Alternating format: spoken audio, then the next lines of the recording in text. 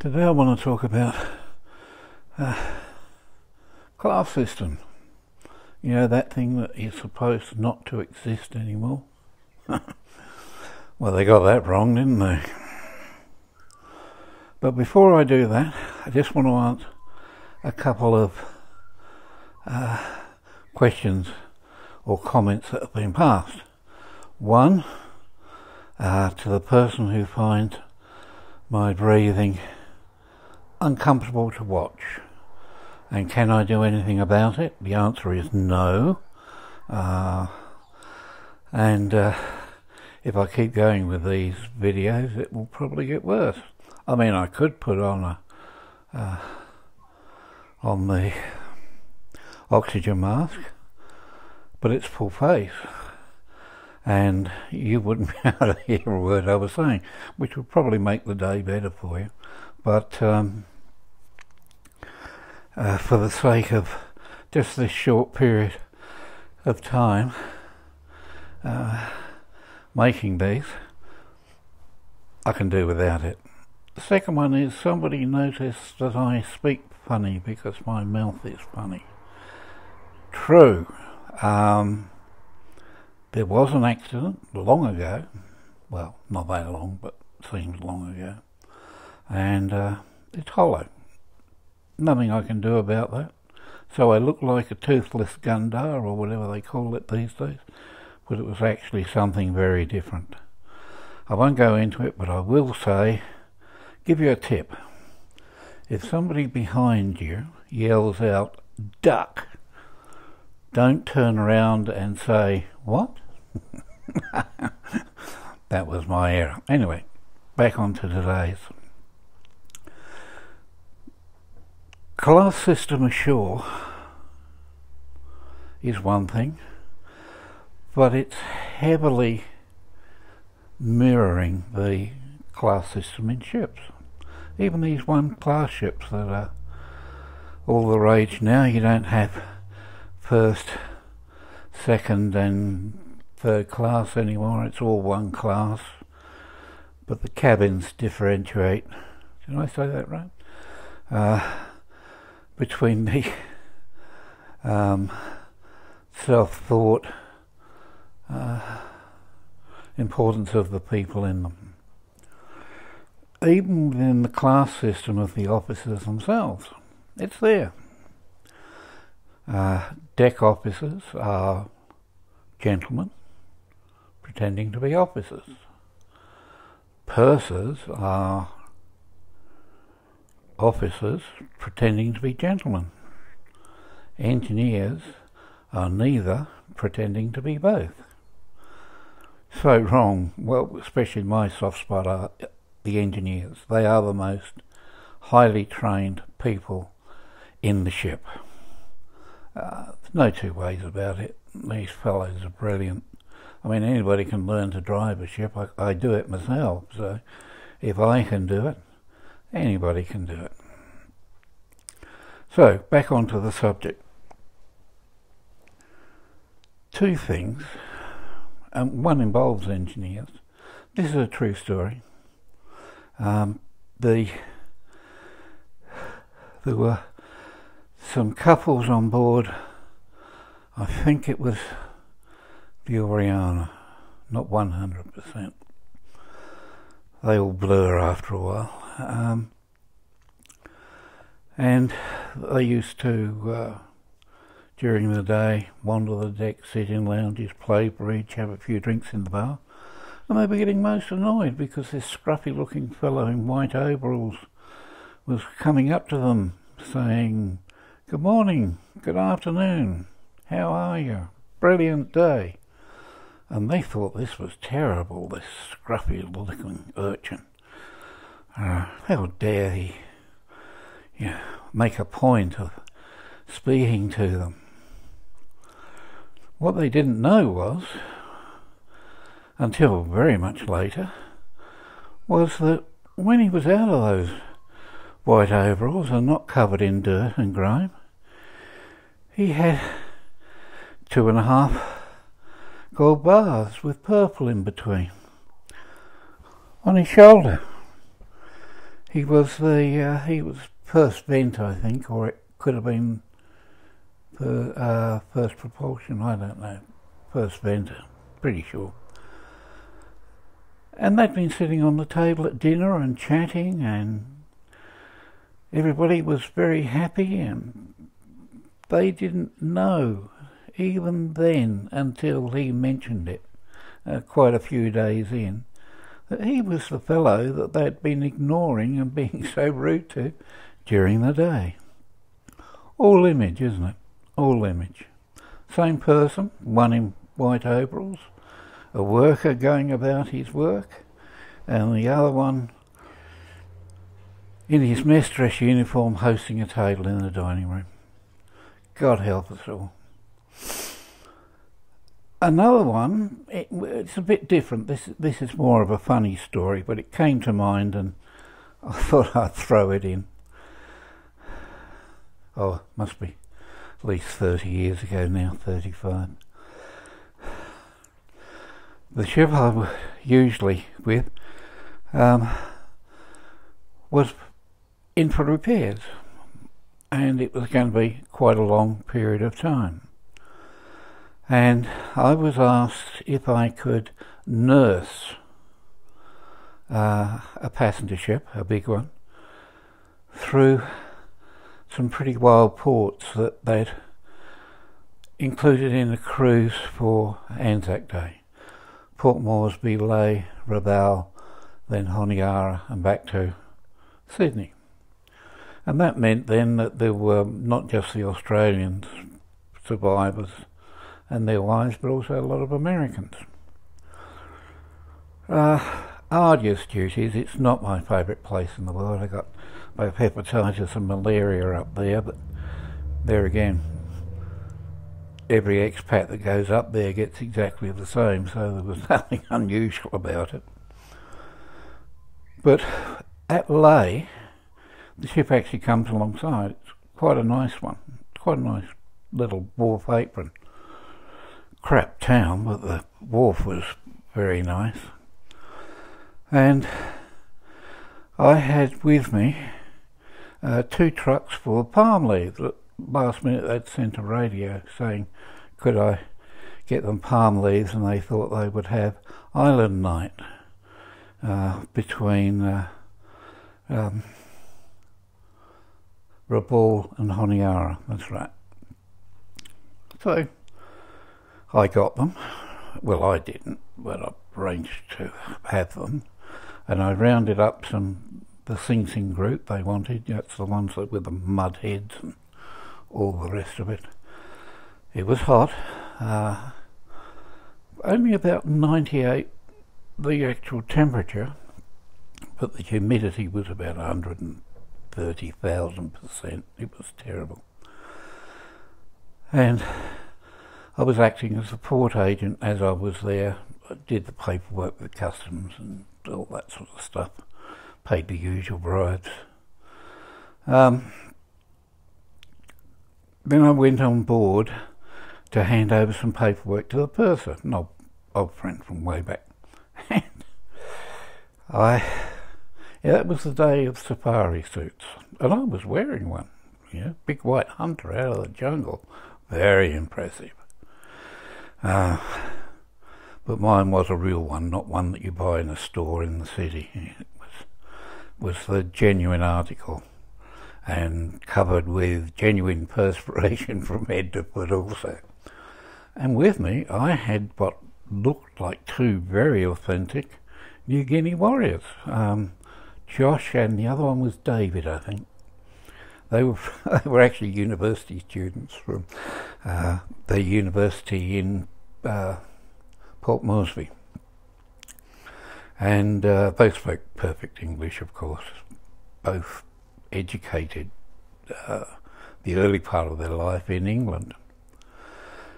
So the ship wanted to know if we could sort of give them any sort of a lift or do anything that's why I organised for the Mudmen to come alongside Sing Sing groups, they called.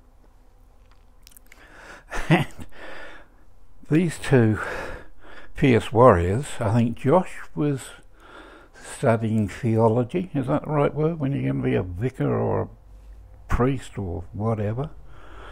And uh, David was studying uh, water management, you know, the infrastructure of building water supplies to places. But they had the whole white feathered headdress, the face paint, uh, bare tops except for some little bamboo thing they had. Uh, and they were actually, out of modesty, they were, they were wearing the usual codpiece type underwear, but they'd wrapped a little tiny bit about that long of uh, cow's hide, I think it was, around them. And they looked the part, and they both had spears, very pointy spears, which they got from the uh, university um, cultural centre, shall we call it. So we march on board, and uh, I was heading to the bureau to head the, give the stuff over to the purser and have a very large drink of very cold beer. And this little junior assistant purser comes up to me. Came up to about there on me, little, little tiny rabbit of a creature. And he said, Are you the shore wallah? And I didn't say a word. Didn't say a word. So he repeated it and he said, I'm speaking to you. Are you the shore wallah? Ignored him again. Don't speak to people like that. Total idiot. So then he got very insistent and again said, If you're the shore wallah, answer me, man. And he poked me in the chest. Well, I didn't have any real choice, did I? Uh, I flattened him. Only took one blow. He was a little tiny creature. And Josh and uh, David, I'm sure it was David, they got into the act and got all fierce looking as if they were going to protect me, and everybody backed away about 10 feet. Just then, Jim walked out, um, uh, and he looked down this purser, junior assistant purser, who was just getting up holding some sort of a handkerchief to his nose, which wasn't broken. I didn't hit him that hard. And uh, tears running down his face, which it is. If you punch somebody just about there, um, it does make your eyes water. So I thought there'd probably be something, but everybody was laughing too much. Well, I'm talking about the ship's crew now. Passengers were aghast. They thought Josh and David were going to spear them in the next few seconds. But they were laughing too, and within minutes the whole place had collapsed. Anyway, Josh and David, I, I went off, I had to go and do the usual round, you know, captain, deputy captain, chief officer, papers. And that takes a while because at each one, of course, you have a drink or two. And when I came back down to the foyer outside the bureau, Josh and David were there, and they had a ball. They'd been well fed, of course. Uh, they don't didn't drink either one of them, but they had nice cold drinks. But they made a fortune. They didn't charge, or they didn't say they wanted money if people took their photograph. And as the more what should we say, the less timid of the women got to uh, closer and closer to them. And they asked, "Can I take have a photograph taken with you?" Yeah, sure. You know, or they said it in some sort of language they made up on the spot. I think. By the time I got back, they'd earned about three hundred dollars between the two of them. They never charge people, but if people wanted to slip some money into their, what would you call it? Not a belt, it's whatever holds the codpiece in place, I suppose. They were most happy. And even then, all that time ago, most, and it was all women, all women, or a couple of married couples. mainly been putting two dollar bills. I mean, a coin wouldn't stay there, would it? So, two dollar bill was the. Oh no, there was a one dollar bill, but it was two dollar bills mainly. So they had a fortune. Anyway, when we walked through the ship to go back to the foyer, uh, people stood aside and all the rest of it. And we, we, it was hot and we were a bit of a mess. And I heard, oh, terrible man, and why do they let people like this on board and all the rest. Water off a duck's back. We left the ship, it sailed, and it was heading for Rabaul, I think. Could have been Moresby. No, it was Rabaul. And I was joining the ship there to come back to Australia via Honiara.